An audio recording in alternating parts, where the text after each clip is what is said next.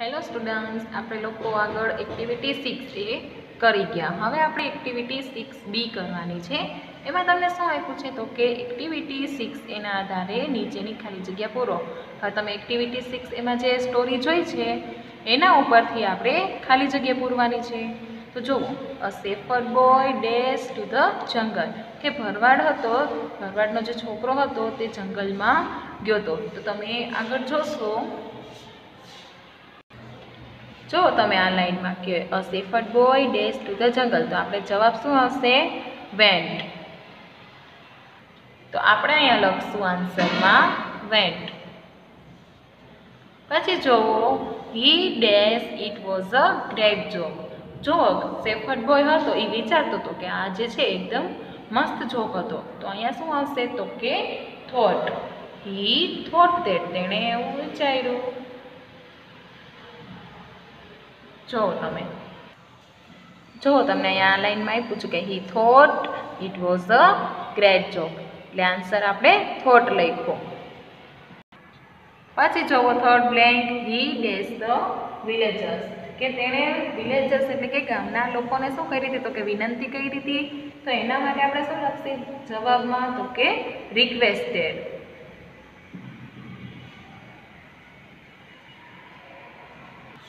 ચલો તમે અહીંયા જોવો છો. He requested to the villagers છે અહીંયા રિક્વેસ્ટેડ આપ્યું છે? એટલા માટે આન્સર આપણે લખો રિક્વેસ્ટેડ પછી જોવો, ચોથી ખાલી જગ્યા but the shepherd boy dash who જો સેફર્ડ બોય હતો એ રડવા લાગ્યો હતો. તો એના માટે આપણે ક્રાઇડ લખશું. જુઓ તમે અહીંયા but the shepherd boy cried wolf wolf આપ્યું છે અહીંયા આપણને કે જે સેફર્ડ બોય હતો એ રડતા રડતા બોલતો હતો. પછી જુઓ પાંચમી ખાલી જગ્યા એ રીતે કે the people in the village dash there. તો એમાં શું આવશે? તો કે કમ એ લોકો ત્યાં આવ્યા હતા એટલા માટે. પછી એના પછીની ખાલી જગ્યા જુઓ કે the boy dash his seat કે જે છોકરો હતો એ એની સીપ હતા. જેના બધા સીપ્સ હતા, એટલે કે ઘેટા બગડા હતા એ ખોવાઈ ગયા હતા. તો એના માટે શું લખશું આપણે?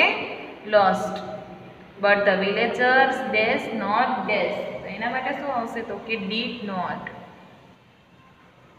અને ગામ કે ગામના લોકો હતા એ પછી નહોતા આવ્યા. એટલા માટે. જો આપણે અહીંયા ડીડનો ઉપયોગ કર્યો ને, તો અહીંયા કમનું છે એ કેમ નહીં લખવાનું? ભૂતકાળનું રૂપ નહીં લખવાનું, કારણ કે આપણે આગળ તો એકવાર ભૂતકાળ વાપરી લીધું. તો અહીંયા છે એ ક્રિયાપદનું મેઇન ગ્રુપ મેઇન વર્ક છે એ મૂકવાનું. પછી જો એવી રીતે આઠમી ખાલી જગ્યા કે the villagers dash back to the work તો જો વિલેજર્સ હતા એ પાછા તેમના કામે લાગી ગયા હતા. તો બોનું અહીંયા ભૂતકાળનું રૂપ મૂકવાનું. બોનું શું થાય? ભૂતકાળનું રૂપ વેન્ટ થાય. તમે આગળ જોશો. જો બતાવું તમને.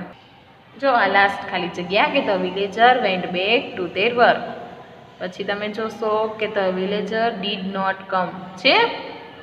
તો આપણે આગળ એક્ટિવિટી સિક્સ એમાંથી આપણે સિક્સ બીની જે ખાલી જગ્યા હતી તે લખી.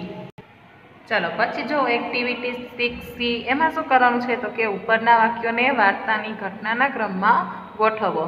તો એમાં શું કરવાનું છે? જુઓ, કે એક્ટિવિટી સિક્સ એમાં જો તમને વાક્ય આપ્યા છે, આ બધી ખાલી જગ્યા. એ ખાલી જગ્યાને આપણે લાઇનસર ગોઠવવાની છે. કે પહેલાં શું હતું એ રીતે. તો જુઓ, તો આપણું પહેલું સેન્ટેન્સ કેવું થશે? તો કે, a. Shepherd boy went to the jungle એ આપણું પહેલું સેન્ટેન્સ થશે. પછી જુઓ, લોકો આવ્યા હતા ગામમાં. તો એના માટે કયું સેન્ટેન્સ આપણે છે? તો કે the people in the village come there તો આપણું બીજું સેન્ટેન્સ થશે, જો હું તમને અહીંયા સાઈડમાં લખી દઉં છું. એ પછી તમે છે ને અહીંયા નીચે લખી નાખજો આ લાઇનમાં લાઈનસર પહેલું વાક્ય છે તો અહીંયા તમારે પહેલા વાક્યમાં કયું વાક્ય લખવાનું? કે a shepherd boy went to the jungle. પછી એ રીતે બીજું વાક્ય લખવાનું. બરાબર? હું તમને એક વાક્ય લખી દઉં છું. બાકીના બધા વાક્ય છે એ તમે નંબર આપું છું. એ રીતે તમે લખી નાખજો. વર્કશીટમાંથી જોઈને. બરાબર? પછી જો આપણે ત્રીજું સેન્ટેન્સ કયું આવશે તો કે the villagers went back to that work પછી જે ગામના લોકો હતા એ પોતાના પાછા કામે લાગી ગયા. બરાબર? તો આના માટે આ થર્ડ સેન્ટેન્સ પછી છે but the shepherd boy cried wolf wolf આ આપણું ચોથું સેન્ટેન્સ થશે. એના પછી he thought at a great job અને આપણે પાંચ નંબર આપશું. પછી but the villagers did not come અને આપણે છઠ્ઠો નંબર આપશું કારણ કે એના પછી તે થયું હતું એટલા માટે. અને પછી સાતમો નંબર કોને આવશે? તો કે એ પછી ગામના લોકોને વિનંતી કરી હતી એ આવશે. અને લાસ્ટ કયું બચ્યું અને છેલ્લે હતું જે છોકરાએ એની બધા સીપ હતા એ ગુમાવી દીધા હતા. એ હતું આપણું લાસ્ટ સેન્ટેન્સ બરાબર? તો એને આપણે આઠ નંબર આપશું. તો આ રીતે તમારી એક્ટિવિટી સિક્સ સી છે તે પૂરી થઈ. હવે જોવો એક્ટિવિટી સેવન કે નીચેના શબ્દ જૂથો તમારા શિક્ષકની મદદથી મોટેથી દોહરાવો. જોવો, અહીંયા છે એ ક્રિયાપદનું મેઇન વર્બ આપ્યું છે એટલે કે મૂળ રૂપ આપ્યું છે અને આ જે છે એ ક્રિયાપદનું ભૂતકાળનું રૂપ છે. જુઓ સે, સેડ.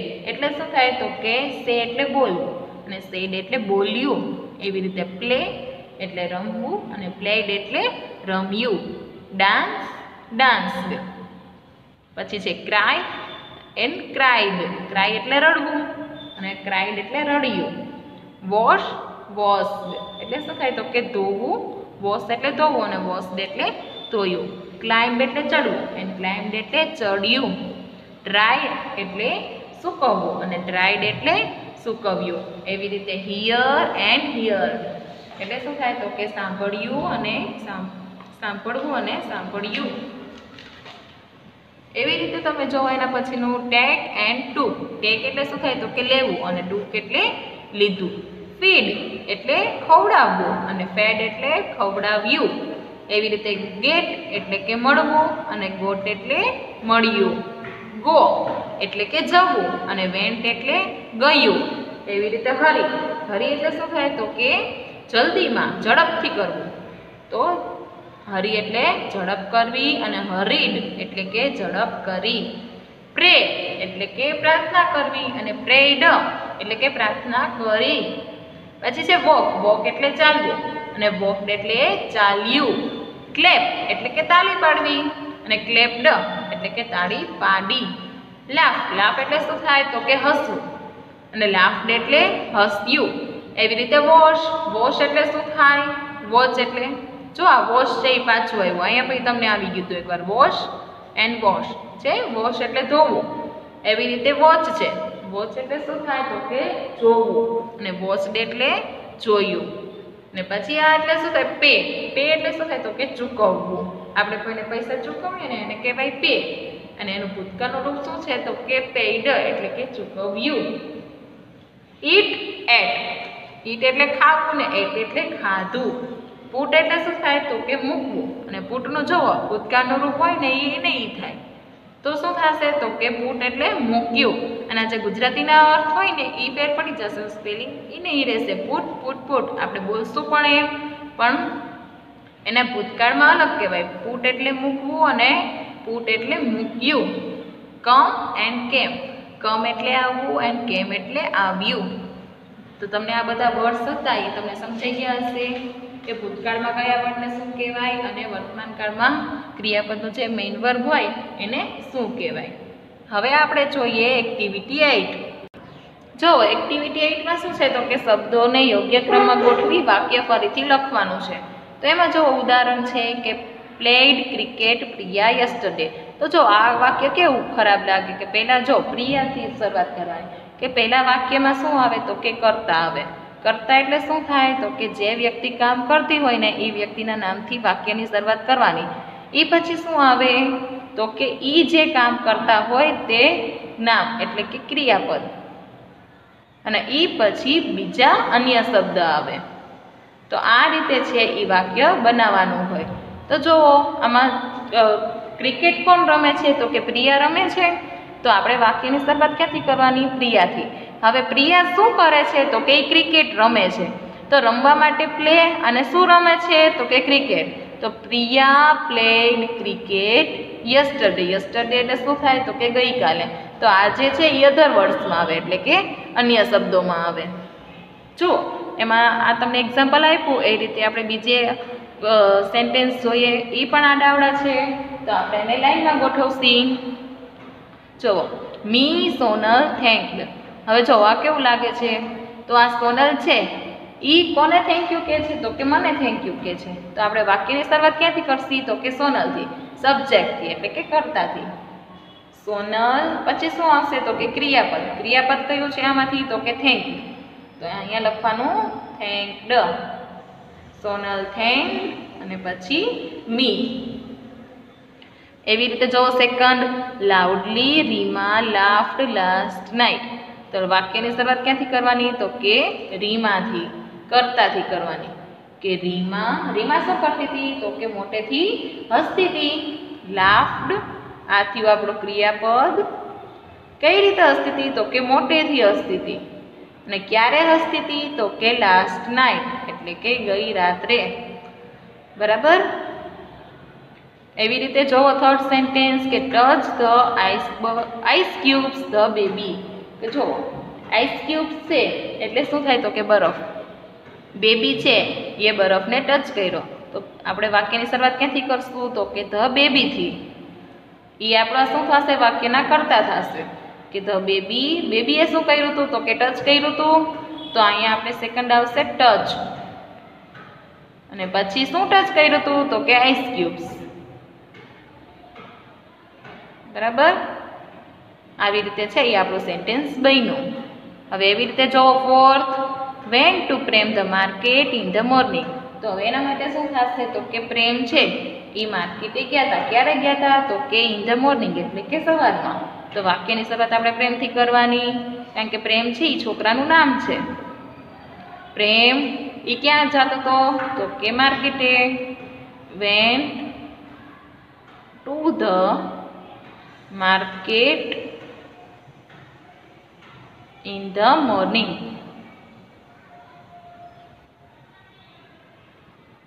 હવે જોઈએ આપણે next fifth brought Vikram story yesterday કે વિક્રમે ગઈકાલે સ્ટોરી લખી.